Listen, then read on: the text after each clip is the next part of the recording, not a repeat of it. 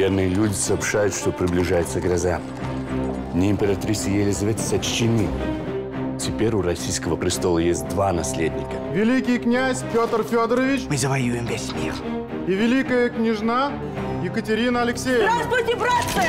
Россия не мешок с картошкой. Не всякая спина сдюжит. А то симпатии при дворе разделились. Есть люди, которые поддерживают Петра Федоровича, Петр последний из Романовых. Престол наследия – это тебе не царские бирюльки. но есть те, кто хочет посадить на русский трон маленького Павла Я Апраксин Степан Федорович. при регенстве Екатерины Алексеевны. Нас скоро императрица будет.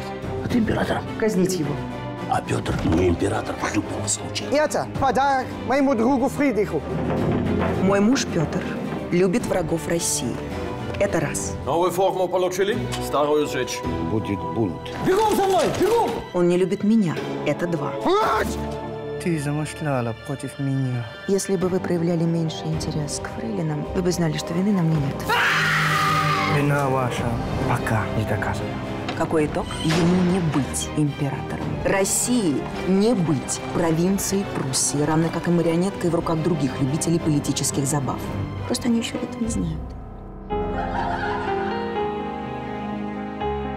Позвольте вам представить граф Станислав Понятовский. Вы тоже хотите стать владыкой мира? Можете располагать мной, как заблагорассудится. Но ведь это очень опасно. Мне нужно от тебя лишь одно твое признание. Либо ты лжец, либо ты мой. Мы могли бы влиять на их отношения. Среди женщин не может быть дружбы, одно лишь соперничество.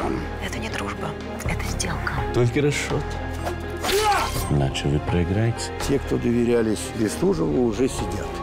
Ты друзей своих предала. Ты и меня предашь. А теперь нас повесят. Здесь написано, что я являюсь законной женой императора и матерью наследника престола. А следовательно, могу занимать место согласно своему статусу и положению.